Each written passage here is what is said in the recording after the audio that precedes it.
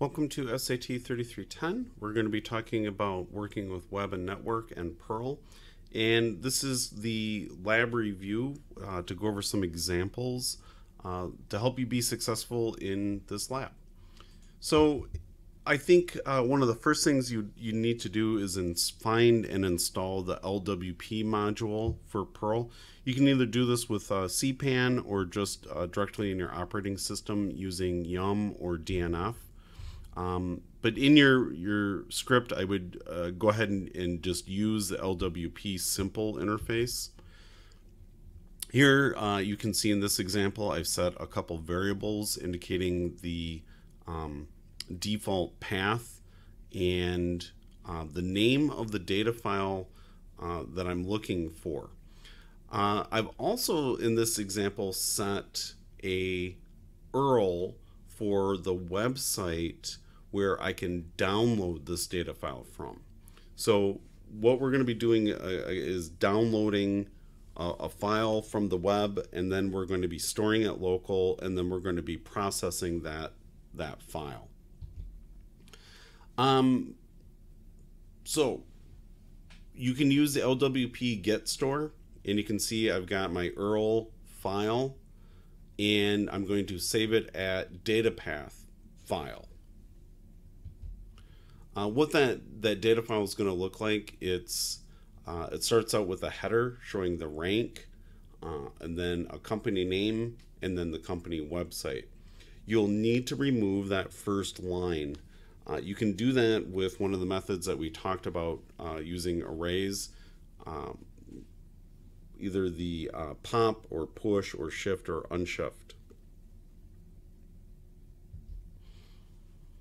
Um, so looking at inputting this file uh, that we've downloaded off the web into an array, uh, we're going to open the file with a file handle. We're using standard input and we're opening it from a local path where we saved it. And while there's lines in that file, we're going to push it onto uh, the array of URLs and we're actually splitting that that file up based on the um, tab of between each column in that file. So it's a TSV or tab separated value file. So we're we're getting an array of uh, three items each line. And then always remember to close your file. Uh, also too, because we're going to want uh, quick updates to the screen, we're going to be turning off buffering in Perl. Um, to again, like we had talked about, remove that first line of the array, we can just use shift our array of URLs. We want to know how many URLs we got, so we're just saying um, the total size is the scalar of the array of URLs. Now what we want to do is to be able to process each URL in that array and get the server type, which we can use the LWP function head URL string to get the server type. So this is sort of a long slide, but let's let's work through it. So for each um, item in list, or in this case, for each website variable in the array of URLs, uh, and we're saying the uh, complete URL, I'm, I'm sort of mangling it a little bit, but I'm adding the HTTP colon slash slash to the item index 2, which is the third item. Now remember, it was company rank, company name, and then the website. So that would be 012. So the complete URL is http colon slash slash and then the website index 2. Now I'm going to say um, setting up variables that are going to be returned with the LWP function head of that complete URL. And those variables are server um, type, expire time, mod time, length, and um, the, the type. What we're looking for here is server type. And I put a little bit of logic in here in case server type comes back um, blank, just go ahead and just set that to be unknown. In the next line, what I'm doing is I'm saying if there is a slash returned in server type, I want just the things before the slash. So the server type substring is now the substring of the server type starting at index 0 all the way up to the index position of that slash.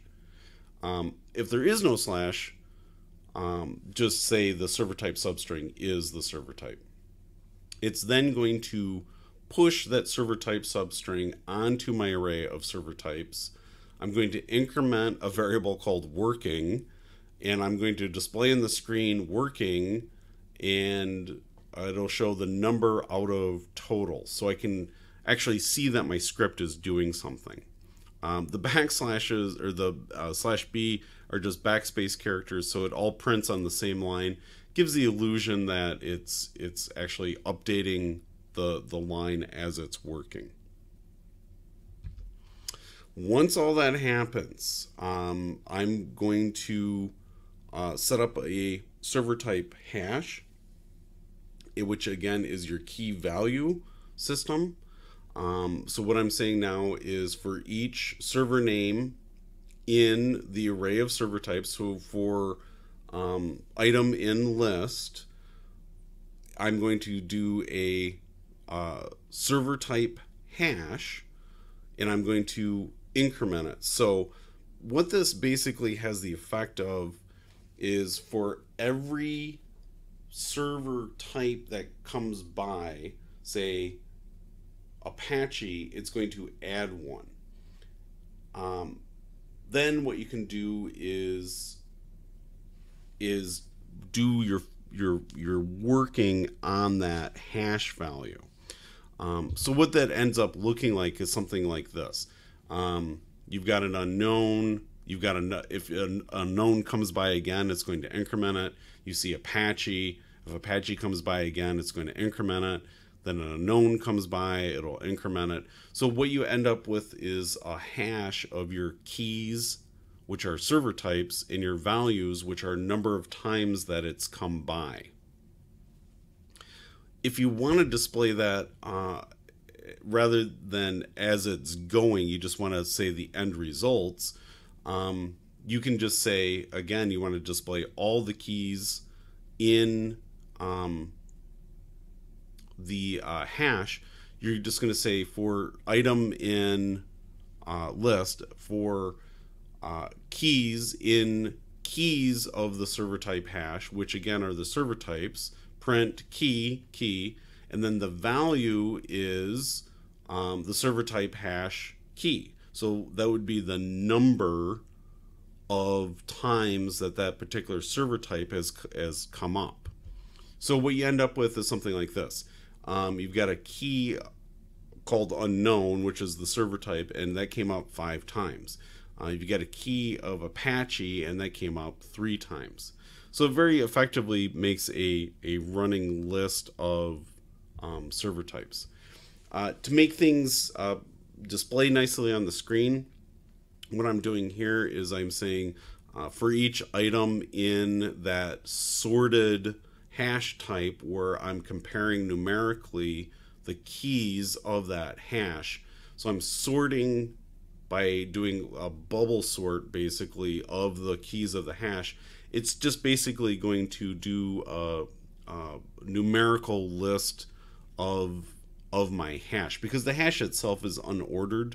This will do a nice uh, dis- sorted display on the screen.